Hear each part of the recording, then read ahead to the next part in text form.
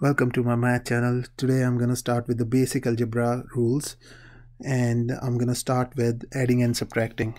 So let's start with the scratch.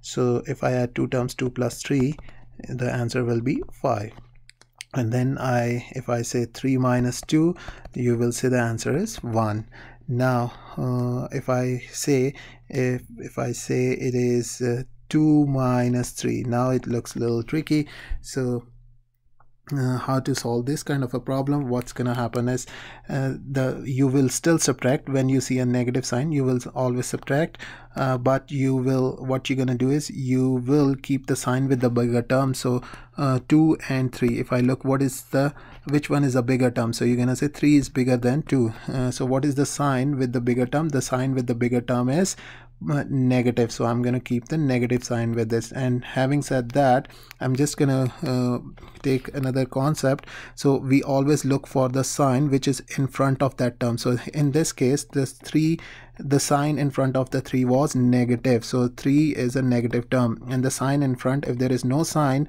in front of a term it means it is a positive term. Uh, so now now if it is negative 2 and negative 3 if it is written like this. So what are you going to do? Uh, in this case when you see the two negative terms uh, you will add them but by keeping the negative sign in front. So 2 plus 3 what is the value?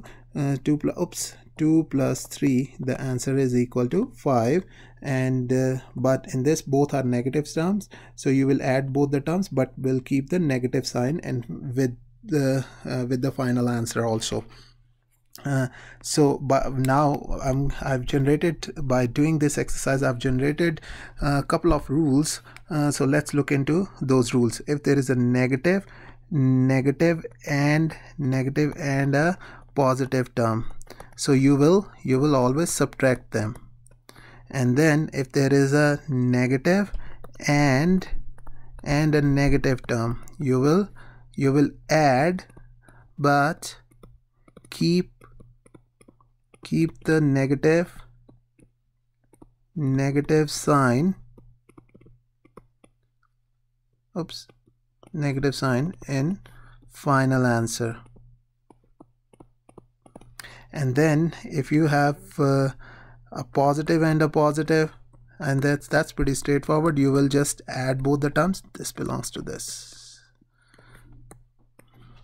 And you will just add them. And then uh, if you have a positive and a negative so the same rule will apply. Subtract you will subtract them and keep the sign with the bigger term. Keep the sign with bigger term. And same rule will apply here also. Keep sign with bigger term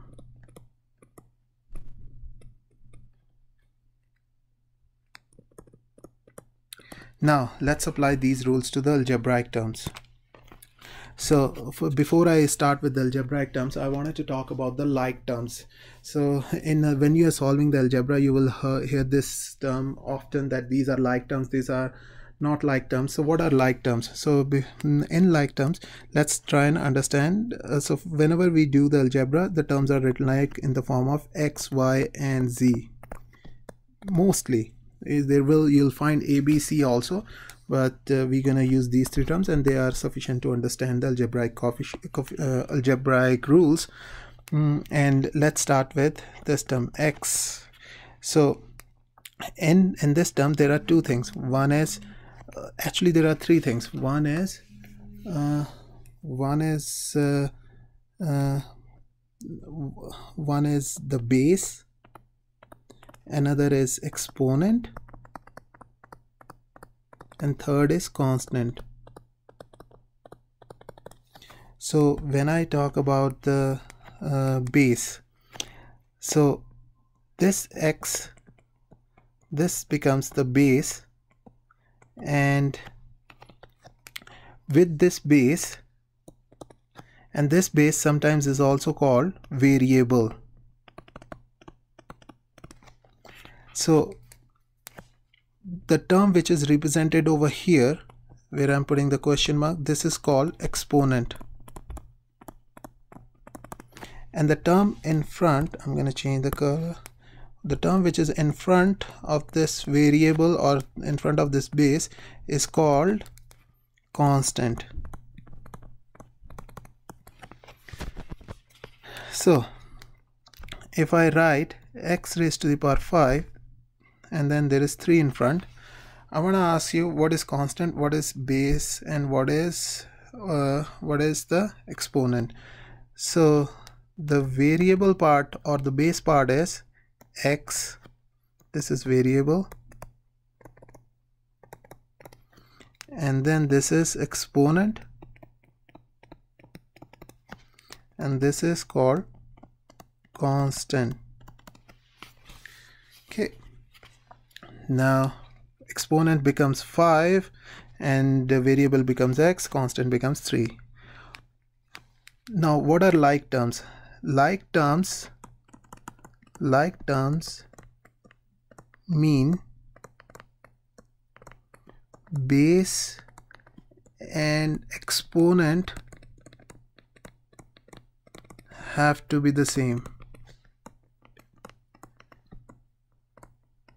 so if I write x raised to the power 4 and then this another term I write x raised to the power 4 are they like terms? And yes they are like terms because their base their base and then their exponent is same.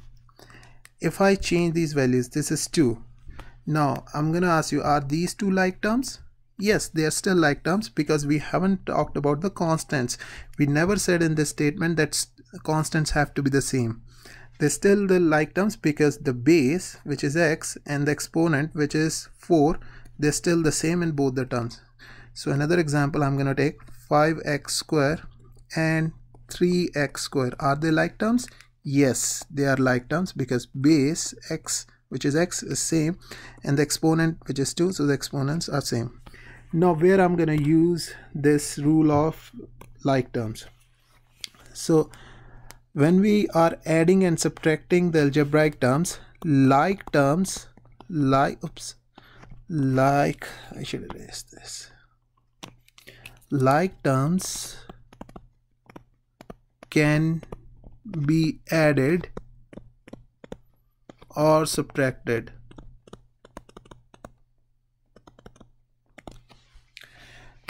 so if it, if you are given a term x and x I wanted to add them x plus x. So when am I I'm gonna add them? The base and exponent will remain same. Only constant will change. And this is an addition or subtraction rule I'm talking about. Adding or subtracting.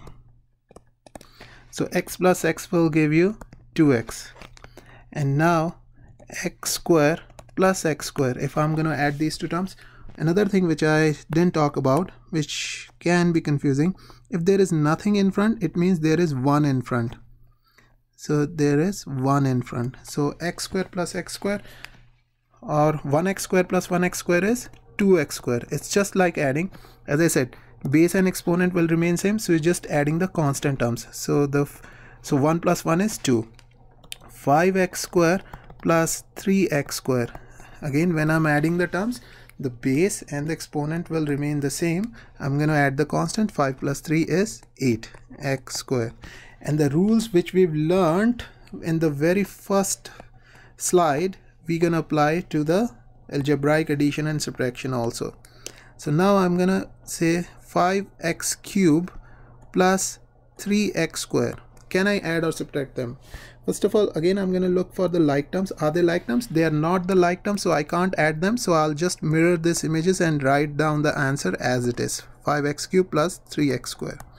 So I can't add them now if I say 5x cube plus 3x cube you will say the they uh, they are same so I'll add it will be 8x cube. If I change the question a little bit negative 5x cube plus 3x cube. So again the rule which we learned in the first slide what was the rule? Negative so it's like riding. I think it's not here. So I'm, I'm gonna apply the rules here.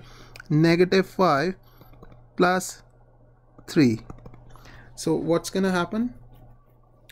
So this is a negative term and this is a positive term. So negative and a positive you will a negative negative and a positive you will subtract them but keep the sign keep the sign with the bigger term so sign with the bigger term is negative. So the answer will be 5 minus 3 is 2. Sign with the bigger term is negative. So my answer will be negative 2 and the base and the exponent will remain the same x cube. And then if there is another question negative 5x cube negative 5x oh rather than using negative I will use the 3 I could have used the negative anyhow. Uh, so this if I wanted to solve this again so uh, which rule I'm going to use? This uh, when there are two negative terms. Two negative term you add them but keep the negative sign in the final answer. So your negative so this will be 5 plus 3 will become 5 plus 3 both are negative terms because the sign in front is negative. Sign in front of this one is also negative. 5 plus 3 is 8 so 8 but with the negative sign and negative x cube. So hopefully you were able to understand the addition and uh, subtraction rules. In the next tutorial i'm going to talk about the multiplication rule. See you. Bye now